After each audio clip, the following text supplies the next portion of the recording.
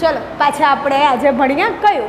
Last time આપણે આ કયું ભણેલા હતા? મેથ્સમાં ચોથું ચેપ્ટર ભણેલા હતા. કયું? ચતુષ્કોણની સમજ. યાદ છે ને? ચતુષ્કોણમાં આપણે શું કરેલું હતું? એના ચારેય ખૂણાના સરવારો ને એ બધું આપણે કરેલું હતું અને પછી એમાં એક્સની કિંમત કે બધું જે શોધવાનું હોય તે. બરાબર? હવે, આજે આપણે પાંચમા ચેપ્ટર તરફ જઈએ. પાંચમું ચેપ્ટર કયું છે, છોકરાઓ? માહિતીનું નિયમ. બરાબર? હવે, પહેલાં તો કોઈ પણ ચેપ્ટર સમજતા પહેલાં આપણે એ સમજીએ કે માહિતી કોને કહેવાય? તમને લોકોને બેઝિક તો નોલેજ હશે. માહિતી છોકરાઓ કોને કહેવાય? માહિતી એટલે શું થાય? ઇંગ્લિશમાં એને આપણે ડિટેલ્સ કહીએ. બરાબર? તો માહિતી એટલે શું કહેવાય? કે આપણે રોજબરોજમાં જે બધી ઘટનાઓ બને છે, તેને આપણે એકત્ર કરીએ. તેને શું કહેવામાં આવે છે? માહિતી કહેવામાં આવે છે. ફરીથી. રોજબરોજની જે ઘટનાઓ બને છે તેને એકત્રિત કરી લેવાની ક્રિયાને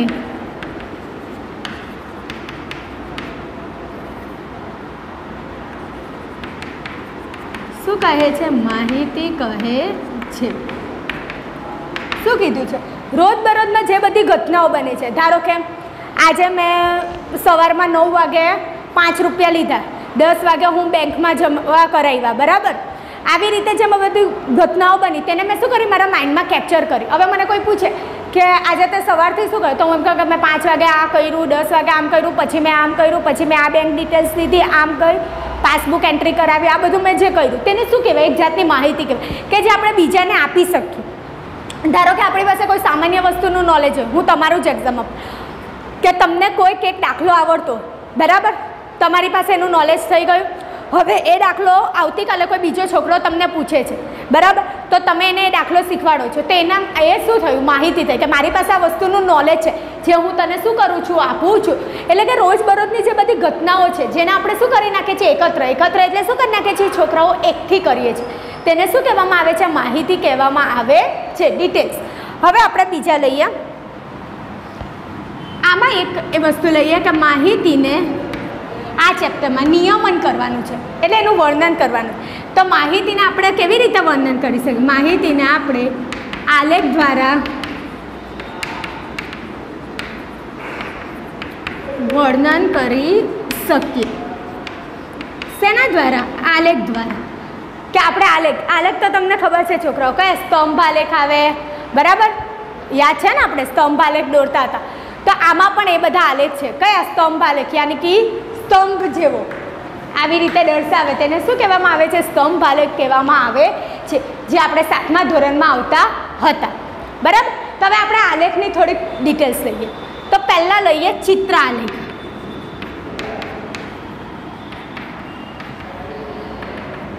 ચિત્ર આલેખ એટલે શું? તમને ખબર પડી ગઈ. ચિત્ર એટલે શું થાય? ચિત્ર. બરાબર? ચિત્ર આલેખ કોને કહેવાય? ચિત્ર આલેખ એટલે કે જે માહિતીને આપણે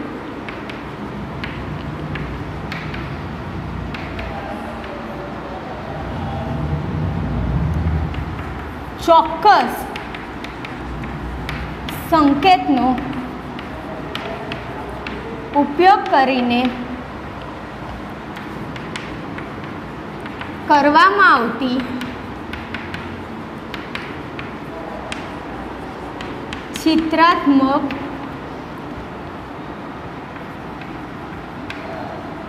રજૂઆતને ચિત્ર આલેખ કહે ચિત્ર આલેખ કોને કહેવાય. ચિત્ર એટલે શું થાય? ચિત્ર દ્વારા. એટલે જે માહિતીને આપણે ચોક્કસ સંકેતો દ્વારા, ચોક્કસ એવા કોઈ ચલચિત્ર આપી દઈએ, તેના દ્વારા આપણે જે ઉપયોગ કરીને જે ચિત્રાત્મક રજૂઆતને શું કહેવામાં આવે છે? ચિત્ર આલેખ દેવ કહેવામાં આવે છે. એટલે કોઈ એક માહિતી હોય, એને આપણે કોઈક એવા સિમ્બોલ કે સાઇન દ્વારા આપણે રજૂ કરીએ છીએ. તેને શું કહેવામાં આવે છે? ચિત્ર આલેખ કહેવામાં આવે છે. હવે આપણે લઈએ લંબ આલેખ લંબ આલેખ એટલે છોકરાઓ ખબર? સમાન પહોળાઈ.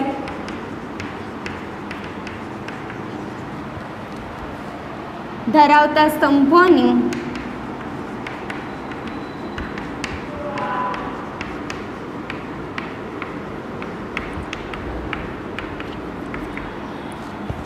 કરવામાં આવેલી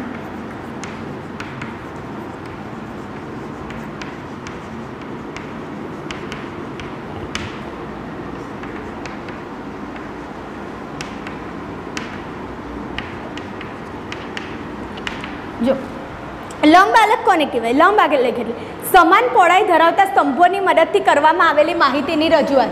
ધારો કે આપણે એક એક્ઝામ્પલ લઈએ, કે મારી પાસે હું તમને કહું કે ચાર છોકરાઓના નામ આપેલા છે અને ચાર છોકરાઓની લંબાઈ આપેલી છે. એકની લંબાઈ છે કેટલી? એકસો સાઠ ફૂટ, એકની એકસો એકસઠ ફૂટ, બાસઠ ફૂટ, ત્રેસઠ ફૂટ, બરાબર? તો આપણે એને આલેખ દ્વારા દર્શાવીએ. તો આપણે એના આલેખ દ્વારા આવી રીતે દર્શાવીએ. અહીંયા નીચે શું લઈએ? ચાર મિત્રોના નામ લઈએ, બરાબર? અહીંયા એમની શું લખીએ લંબાઈ એટલે કે ઊંચાઈ આપેલી છે, બરાબર? હવે ધારો કે આની એકસો સાઠ એકસો એકસઠ, એકસો બાસ એકસો ત્રેસઠ, આવી તો આપણે અહીંયા એક મિત્રનું નામ આપેલું એન એન, ઓ, પી, બરાબર? આલેખ તો આપણે ખબર. તો એમની કેટલી છે? એકસો સાઠ છે. તા થાય. સમાન પહોળાઈ ધરાવે છે. આ હવે આ બધાનું આપણે એક સેન્ટીમીટર લીધું હોય તો આપણને બધાની કેટલી આવવી જોઈએ? એક સેન્ટીમીટર જ આવવું આ છે એકસો ને બાસઠ. ના, એકસો.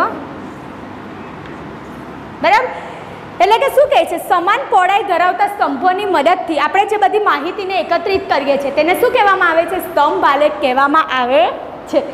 જો, માહિતી કરી ચિત્ર આલેખ થઈ, લંબ આલેખ થયો, હવે આવે છે દ્વિલંબ આલેખ એટલે શું, છોકરાઓ? દ્વિ એટલે શું? બે લંબ આલેખ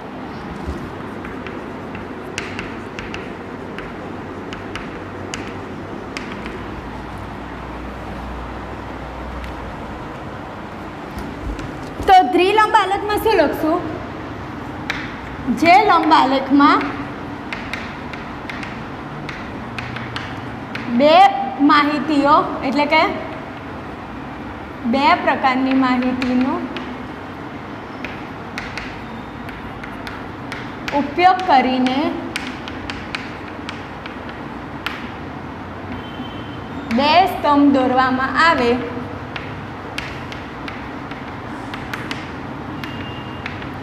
તેને શું કહેવામાં આવે છે? દ્વિલંબ.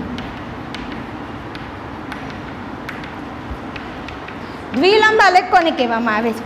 કે જે લંબ આલેખમાં બંને પ્રકારની માહિતી, એટલે કે બે પ્રકારની માહિતી હોય છે બંને પ્રકારની માહિતીને આપણે શું કરીએ? એકથી કરી તેને શું કહેવામાં આવે છે? દ્વિલંબ આલેખ કહેવામાં આવે છે. ધારો કે આ છે. તો આપણે યાદ હોય, અહીંયા ચાર નામ આપેલા છે. M, N, O, P. કે એમની ઓગણીસો ને એકાણુંની આટલી ને ઓગણીસો ને બાણુંની આટલી. બે પ્રકારના વરસ આપેલા. કયા બે પ્રકારના? એક તો ઓગણીસો ને એકાણુંનું વરસ ને ઓગણીસો ને બાણુંનું વરસ આપેલું. તો ઓગણીસો ને એકાણુંમાં એની ઊંચાઈ એકસો એકસઠ હોય ને ઓગણીસો ને બાણુંમાં એની ઊંચાઈ એકસો સાઠ તો કોની? એમની. તો થાય ને? એવી રીતે એમની. તો આને કેવા આલેખ કહેવાય? ધ્રિલંબ આલેખ કહેવામાં આવે છે. ધ્રિલંબ એટલે શું? બે પ્રકારની માહિતીને એકથી કરીને જ્યારે સ્તંભ દોરવામાં આવે છે, તેને શું કહેવામાં આવે છે? દ્વિલંબ આલેખ કહેવામાં આવે છે. ફરીથી કોન્સેપ્ટ ક્લિયર કરીએ. ચેપ્ટર ફાઇવ છે, માહિતીનો નિયમ. માહિતી કોને કહેવાય? રોજબરોજમાં જે આપણા જીવનમાં ઘટનાઓ બને છે, તેને આપણે એકત્ર કરીએ. તે એકત્ર કરવાની ક્રિયાને શું કહેવામાં આવે છે? માહિતી કહેવામાં આવે છે. માહિતીને આપણે શાના સ્વરૂપે દર્શાવીએ છીએ. આલેખ દ્વારા વર્ણન કરી શકીએ છીએ. આલેખના કેટલા પ્રકાર લીધા? આપણે કયા કયા આલેખ? એક તો ચિત્ર આલેખ, લંબ આલેખ ને દ્વિલંબ આલેખ ચિત્ર આલેખ એટલે- શું?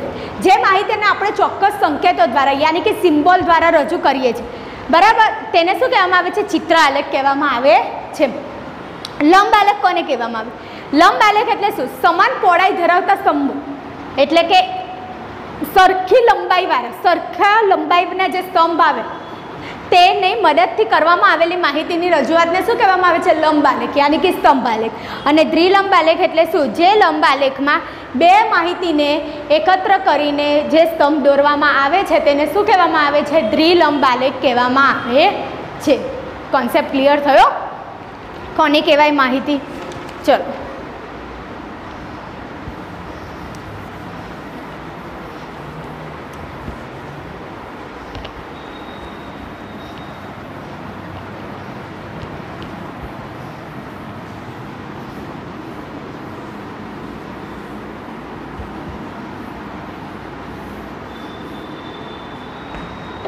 આપણે એનો એક દાખલો લઈએ.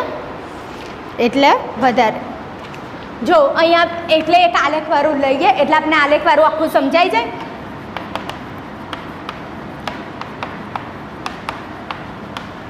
વજન. તેનો શું દોરવાનો છે? લંબ આલેખ દોરવાનો છે. પાંચ મિત્રોના શું આપેલા છે? વજન આપેલા છે. એની ડિટેલ્સ આપેલી છે. જો મિત્ર આપેલા છે ને વજન આપેલું છે શેમાં? કિલોગ્રામમાં, બરાબર? મિત્રના નામ છે કયા? એ, બી, સી ને ડી. બરાબર? ને ઈ. બરાબર? પાંચ મિત્રોને વજન આપ તેમાં એનું કેટલું છે? બાવન.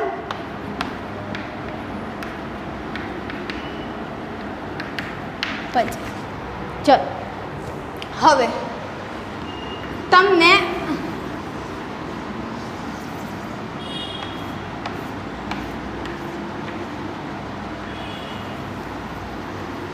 બરાબર જો, આ પાંચ મિત્રોના તમને વજન આપેલા છે. આનો આપણે શું દોરવાનું છે? છોકરાઓ, લંબ આલેખ દોરવાનો છે. લંબ આલેખ એટલે શું? સ્તંભ આલેખ દોરવાનો છે. હવે મારી પાસે તો આલેખ પેપર નથી એટલે હું તમને બોર્ડ પર બતાવીશ. પણ તમારે ઘરે શું કરવાનું છે? આલેખ પેપર. આલેખ પેપર એટલે તો આપને ખબર છે ને? આવા આકારનું પેજ આવે. આવી રીતે અંદર ડિટેલ્સ હોય. બરાબર? પછી આવા નાના નાના નાના, આવી રીતે પાંચ એમએમ આપેલા હોય. આને શું કહેવામાં આવે છે? આલેખ પેપર. જે આપણે ગ્રાફ પોથી કહીએ છીએ, તે આપણે આની અંદર આલેખ દોરવાનો છે. અને તમારે સમજવાનું છે કે આ બોર્ડ મારું શું છે? આલેખ પેપર છે. હવે, આપણે છોકરાઓ સાતમા ધોરણમાં ભણી ગયા હતા. કોઈ પણ આલેખ દોરતા પહેલાં કેટલા અક્ષ દોરવાના કમ્પલસરી છે? બે અક્ષ દોરવા જરૂરી છે. તો એ પહેલી લીટી અહીંયા. ખબર ને આ તો? આને કયો? વાય અક્ષ કહેવાય? ઊભે ને? ને આને કયો કહેવાય? એક્સ અક્ષ બરાબર? આપણે આ કહ્યું ના હંમેશા કયું હોય? ઝીરો બિંદુ. બરાબર? હવે આપણે મિત્રોના નામ આપેલા છે અને એનું શું આપેલું છે? વજન આપેલું છે. હવે વજન જો, બાવન, છેતાળીસ, અડતાલીસ, છપ્પન, પચાસ. આટલું વજન છે. મારે અહીંયા લાવવાનું છે. તો હું વાય એક્સ પર એક સેન્ટીમીટર બરાબર કેટલા લેવ? પાંચ કિલોગ્રામ લેવ. તો આપણે ખબર છે? તો અહીંયા લખવાનું વાય એક્સ પર એક સેન્ટીમીટર બરાબર પાંચ કિલોગ્રામ છે. બરાબર? એટલે અહીંયા કેટલા થાય? પાંચ, દસ, એટલે પાંચ પાંચનું અંતર લેવાનું. વીસ, પચીસ, ત્રીસ, પાંત્રીસ, ચાળીસ, પિસ્તાળીસ, પચાસ, પંચાવન, સાઠ. બરાબર? છેલ્લામાં છેલ્લું મોટું શું છે? છપ્પન છે. તમે કેટલા સુધી લીધું? સાઠ. અને અહીંયા કયા લઈ ગયા? જો. એ બી સી ડી ઈ બરાબર? ચાલો. એનું વજન કેટલું છે? બાવન. તો બાવન કોની વચ્ચે આવે? પચાસ અને પંચાવનની વચ્ચે બાવન આવે. એટલે હું અહીંયાથી તમારે આમાં શું કરવાનું? તમારે અહીંયા પચાસ ને પંચાવન આવી ગયું. બરાબર? તો વચ્ચે જે આવી રીતે પેલી નાની નાની લીટી હોય ને, પિંક કલરની તા.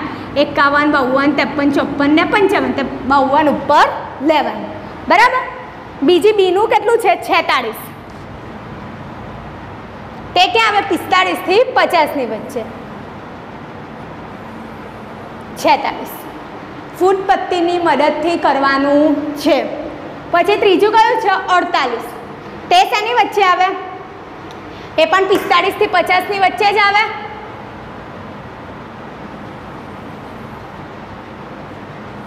સીનું અડતાલીસ, બરાબર? આ સરખી લાઈન આપણે ડ્રો કરવાની રહેશે, બરાબર? ડીનું કયું છે? છપ્પન. તો છપ્પન એ શેની આવશે? પચાસ ને સાઠની વચ્ચે આવે એટલે હું અહીંયા લઈશ છપ્પન.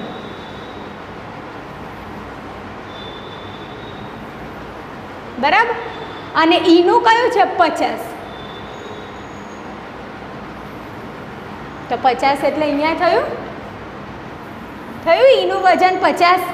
બરાબર? જો આને હું સરખી લાઈન કરી દઉં એટલે વધારે ક્લિયર થાય.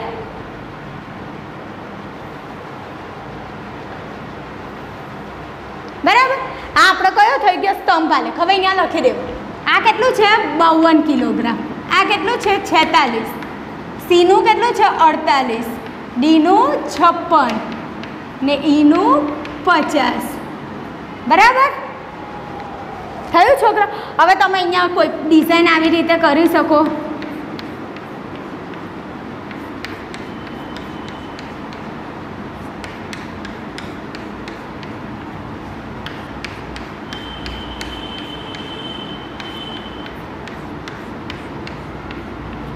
બરાબર?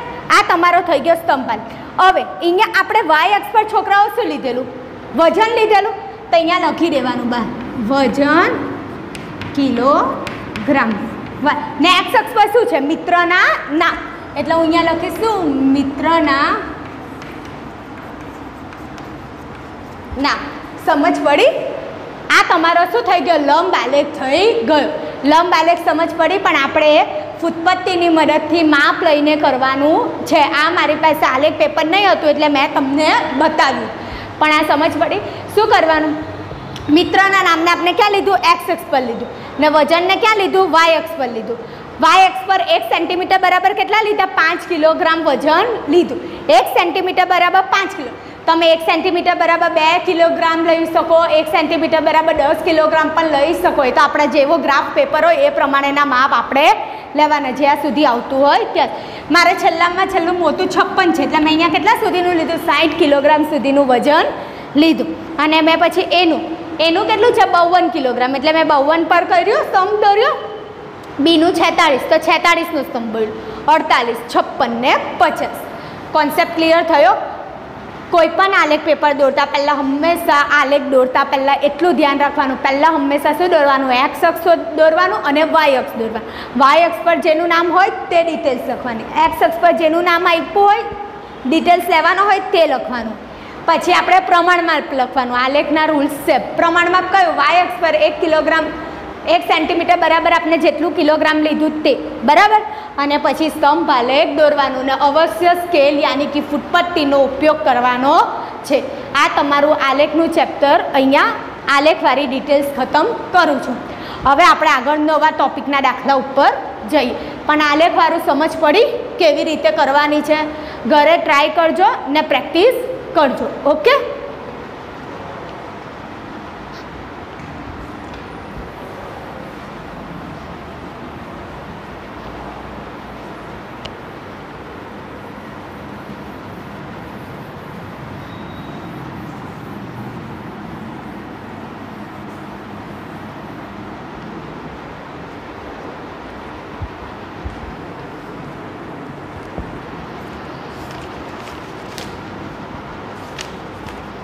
હવે આપણે પહેલાં આવૃત્તિ વિતરણવાળા દાખલા કરીએ આવૃત્તિ વિતરણવાળા દાખલા એટલે શું?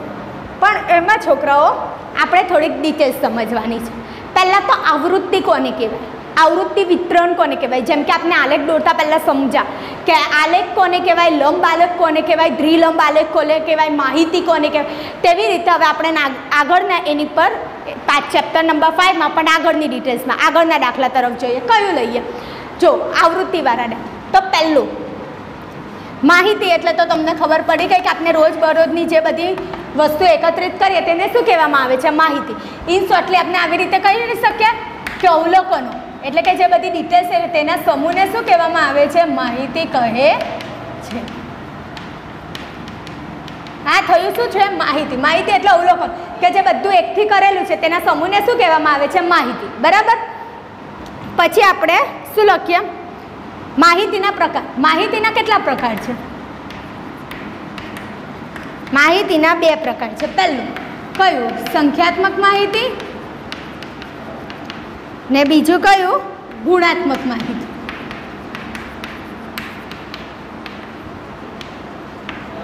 બરાબર? હવે આપણે લઈએ વર્ગીકરણ. વર્ગીકરણ એટલે શું થાય, છોકરાઓ? પહેલાં તો માહિતી એટલે ખબર પડી કે રોજબરોજની જે બધી ડિટેલ્સ એકઠી કરીએ તેના સમૂહને શું કહેવામાં આવે છે માહિતી? હવે માહિતીના બે પ્રકાર છે. કેટલા પ્રકાર છે? બે કયા કયા? સંખ્યાત્મક માહિતી ને ગુણાત્મક માહિતી. સંખ્યાત્મક એટલે શું? જે સંખ્યા દ્વારા બધી માહિતી એકત્રિત કરીએ તે સંખ્યાના સ્વરૂપ. અને ગુણાત્મક એટલે શું? ગુણધર્મને સ્વરૂપ. ગુણધર્મ એટલે શું? કે ઓગણીસો ધારો કે સપોઝ કે હું તમને આપું કે એનો કલર, એને ઓગણીસો ને એકાણુંમાં કલર કાળો છે ને એનો ઓગણીસો ને એકાણુંમાં બાણુંમાં કલર લાલ છે. તે એકાણું બાણું જે કયો કલર છે? લાલ અને કાળા. તો આપણે એમ લઈએ કે લાલ અને કાળા કલરવાળો એ વાળો વ્યક્તિ કયા સાલમાં છે? બરાબર? તેને શું કહેવામાં આવે છે? ગુણધર્મ સ્વરૂપ. વર્ગીકરણ છોકરાઓ કને કહે છે? જેમ બધી માહિતી હોય. માહિતીને સંખ્યા કે ગુણધર્મ? દ્વારા અલગ પાડવામાં આવે.